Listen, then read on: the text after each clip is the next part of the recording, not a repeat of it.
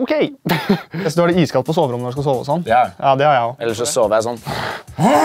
Og da straffepuler ofte dama og sånn, gjør du ikke det? Jeg trodde jeg sendte deg en melding jeg, om at du skulle slutte å snakke om dama mi. Kanskje du ikke fikk den? Jeg har sendt den fem Jeg ganger. vet. Hjertelig velkommen til Til en ny episode av Overtenning med Farley og Flesvig. Det er første gang vi har klart å si det samtidig. Jeg vet det, det er helt sinnssykt. Og nå er det faen meg vår ute, og jeg kjenner at jeg blir kåtere enn noen gang. Går til og fra jobb med høy kølle. Blir du kåt av planter? Jeg kan like det. Vi skal gjennom noen trender. Dette konseptet går ut på at jeg skal speile din energi. Og det er jævlig vanskelig, for dette Ja. er et tog. Jeg kaller det for et humortog, som bare Ja. våkner Ja. opp. ratt, Det er som å bli skutt med et AK i, i bakhuet. Dansematte på danskebåten Ja. hele dagen. Men noen andre som ikke hadde det så- så gøy som det jeg hadde, det var han her. Det hadde vi helt glemt. Se på dette. Se på dette. Du ser ut som du har fått noe i øya. Ja, det var vanskelig. Si det eller spis det. Si det eller spis det. Ja vel. Har du fått med deg det? Aner ikke hva det er for noe. Man burde jo skjønne det ut ifra navnet på den. Ja, ja, si det eller spis det, men det makes no fucking sense så langt. da. Si det. At jeg sier det, Ja, spis det. at jeg må spise det. Ja, Så si det eller spis det. Ok, Men det er jo ikke noe stress å si ting. Men det er det som er problemet med den trenden. trenden. det er ofte litt sånn kleine ting. Ja. Hvor mange har du hatt sex med? Nei, det kan jeg ikke svare på. Og så spiser du pizza med ananas. Ok, ja. Fordi det jeg syns kids er ekkelt. da. Oh, Jesus Men- Christ. Spise kanel, og så se om du klarer å svelge det. Går ta vann, du må ta vann i munnen. Skjerp dere. Jeg er egentlig et svært, svært rasshøl. Ja. Rasshøl kan være pene også. Noen rasshøl Ja. er mindre pene enn andre. Noen er utover, noen er innover. Og noen bleiker dem. Og jeg skjønte Ja. jo ikke, Det tok jo tid før jeg skjønte hva det å bleike rasshøl der. Nå er jeg addict av det. Si det eller spis det. Hva er det du ikke hadde hatt lyst til å spise? Jeg ville ikke spist øh, Jeg spiser det men jeg er jævlig lite glad i Nå husker jeg ikke hva det heter. Det er noe man har for eksempel, i en bagett. Reker. Nei, nei. Majones. nei. Salat. Det er en, det er en sånn, Tomat. Det er ikke koriander. Kapers. Det er ikke koriander. Persille. Nei. Koriander er det kanskje. Er det koriander? Fordi du åpner med å si det er ikke koriander. Noen sier at det smaker såpe, og andre liker ja. det. Yes. Koriander. Koriander. Koriander. fuck yourself. Koriander. I'm not the type of person that you fuck with. Ra, ra, ra. Give my bitch back. Ratata, rata. Swag, bitch. Faen til spørsmål rundt hva jeg spiser. Hva er det du, Ja, hva er det, hva er det ikke du vil ha? Jeg liker ikke såpe. Vi burde lage en side eller spis det, hvor alle tingene du spiser, er ikke spiselige ting. Ja, ikke sant? For jeg tenker, Hvis det er spiselig, så er det ikke noe drøyt å spise det. spis en lyspære.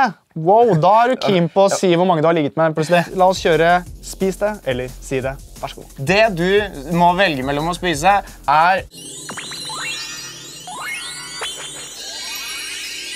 Støtter du nazistene?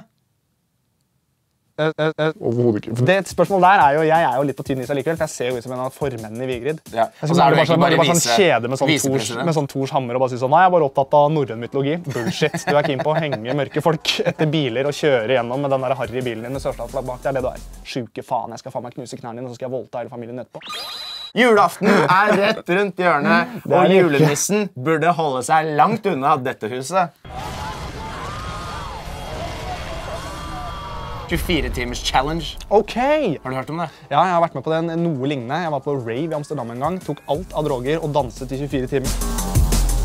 24 timer på badet. De skal være et sted. Ja, de 24 skal være et sted i 24 timer. Fy faen, nå, har folk, nå begynner folk å bli lite kreative. ass. Ok, Nå har ikke jeg noe mer content å komme med, så bare sånn, greit, nå skal jeg være i garasjen i 24 timer. Ja. Følg med. Det En av de jeg så, var 24 timer i skapet til søsteren min. Hva er det verste som kan skje? Hun åpner skapet og så er sånn Oi, du er Du er her. din dumme faen. Du Hvorfor har du trusene mine i munnen? inni nesa di. Andre steder da, som hadde vært litt mer interessant med sånn 24 timer. 24 timer på Tryvann, der tror jeg du sliter ganske heftig. I hvert fall Ja. hvis du er ikke russ, voksen mann. Ja, ja. det er en Eh, challenge. Det er en challenge. Uten å ha russebukse. Uten russebukse. Ja. Da sliter du. ass. Hva med deg? Hva kunne du tenkt deg? 24 timer? 24 timer i fengsel. Ja, det kunne jeg tenkt meg. Ja. Eller det veit jeg hvordan det er. Rest in peace to all my brows. out Eh, Du drepte alle vennene dine, og så fikk du 24 timer. ja. Jo, du må ta på deg Ku Klux Klan-outfit i Harlem I 24 i timer. 24 timer med GoPro og den støtt er inni et kors som brenner. I swear I'm one of you guys. I swear. I I'm just swear. filming myself. Ja, film- ja, ikke sant? Det går ikke. Da begynner det å bli risky. 24 timer under vann uten oksygen. 24 timer i syre. Hvor mye er igjen?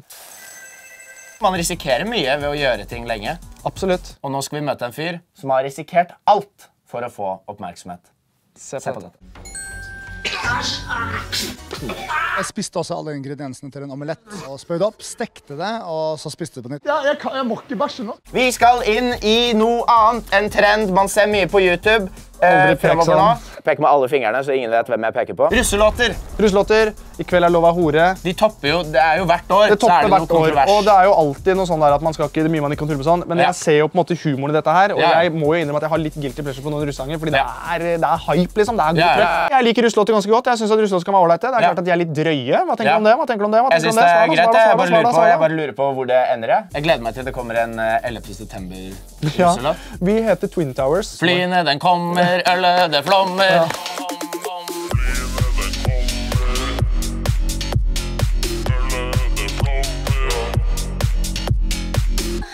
Noe sånt. Ja, det var Ja. gøy. Der fikk dere et gratis russekonsept. Hvis du skulle lagd en russevan nå, eller russebuss, da, Ja. eh, ikke van, eh, hva ville det vært da? Hva skulle den hett? ISIS. Altså, dere spiller eh, dere, dere, må ha en litt sånn, dere må ha en kamplåt, egentlig? Nei, nei, altså ISIS, for det er en cisgendered male.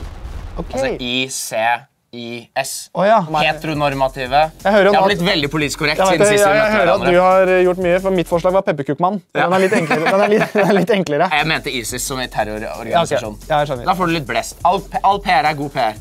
Ja, Hilsen Carl Aksel fra Paradise. Ja. All PR er god PR, altså. Skaff deg et liv og gjør som folk flest. Jeg han på veien, og han sier Jeg vil være et varemerke om ti år. Youtubere har begynt å tjene penger på reklamer. Er det, folk, folk liker det ikke. Folk liker det ikke fordi man føler at Å, nå gjør de alt for penger, og det er ikke sånn som det gang var. Men hvis de skal fortsette å sitte og spise chili peppers og være far og sønn som ødelegger seg sjæl for å lage YouTube, så må de tjene penger på det. Hvis ikke så går ikke jula rundt, og da kan Ja. ikke du sitte der og klø deg på pungen og spise potetgull og se på dem. Du kan ikke bli sur på en fyr som jobber på Kiwi fordi han jobber. Jeg likte det mye bedre før da du bare satt det oppi fruktdisken og ikke gjorde en dritt. Du har forandret deg. Drit i å se den sponsa videoen, da.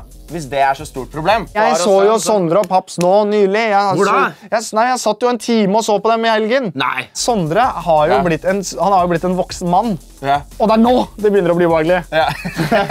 Alle influensere eh, må jo på et eller annet måte tjene penger, Mm. men det handler om hvordan man gjør det, og det lønner seg ikke å si ja til alt. For Nei. da kan du ende opp som dette. Se på dette. Er World Trade Center. eh, teisissä. Skriv i kommentarfeltet Hvorfor akkurat? Hyggelig å se deg, Quisling. Hvis du også er glad for at Herman har tatt seg en liten pause fra Vigrid-møtene sine for å komme på besøk og bli med på litt humor. Ja, men det er fint. Jeg tror de fleste vet at du ikke er nynazist. Ja. Så jeg har tatt av meg nå American History X, hakekors på brystkassa. Eller What? bare DVD-coveret Ja. tatovert på brystkassa. Skriv i kommentarfeltet hva vi skal snakke om neste gang. tar vi en improavslutning, sånn som denne Sist. gang. gang. Takk for nå. Nå stikker jeg, for dette, dette var jævla dårlig. Følte at noen skjøt dysleksi inn i trynet mitt fra offcam. Ha det bra! Ha det bra. Ha det.